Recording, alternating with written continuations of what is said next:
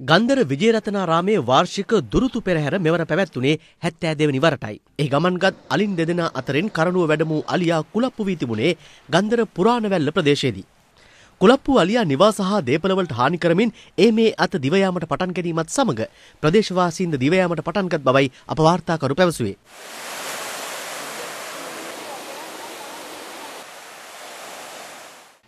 ගන්දර police ස්ථානාධිපතිවරයා ඇතුළු කණ්ඩායමක්ද පැමිණ ප්‍රදේශවාසීන් සමග අලියා ජනශූන්‍ය ප්‍රදේශයකට පළවා හැරීමට පියවර ගත්තා. එවන විටත් අලියා දේපල රැසකට හානි සිදු කර තිබුණා.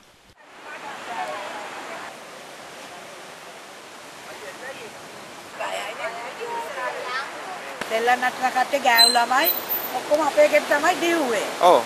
දිව්වකම අපි දන්නේ මොකක්ද කියලා. අපේ උණු රණ්ඩුවක් කියලා. රණ්ඩුවනේ බලනකොට අලිය දුවනවායි කියලා අපේ වත්තේ තමයි අලිය ඇවිල්ලා ඉන්නේ. අලිය දේර විනාශ කරලා. ඒක පාටම අලිය කුලප් වෙනවා කියලා කෑගෝ හදන මිනිස්සු දිව්වා. ඒ පාරේ මිනිස්සු දිව්වන් පස්සේ අපි බැලුවා වටපිට බලනකොට අපේ ටීවිල් එක පෙරලනවා බලනකොට අලියෙක් කුලප් වෙලා ටීවිල් එක පෙරළුවා. බෝටෝ කීපයකටම හානි කරා. මෙච්චර කාලයකට මෙහෙම දෙයක් වෙලා නැහැ. අලියා කුලප්පු වෙලා මීටර ගණනාවක් ඉස්සරහට දුවගෙන ආවා.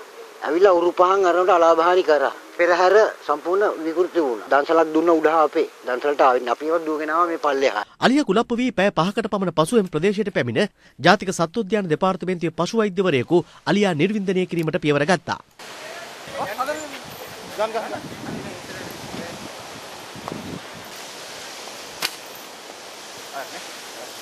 කල්ලා යටල්ල. යටල්ල. ගන්න එන්න බෑ. එන්න බෑ එන්න බෑ එන්න බෑ. එන්න බෑනේ මෙල්ල වූ අලියා ලොරියට පැටවීමද අසීරු කටයුත්තක් වුණා.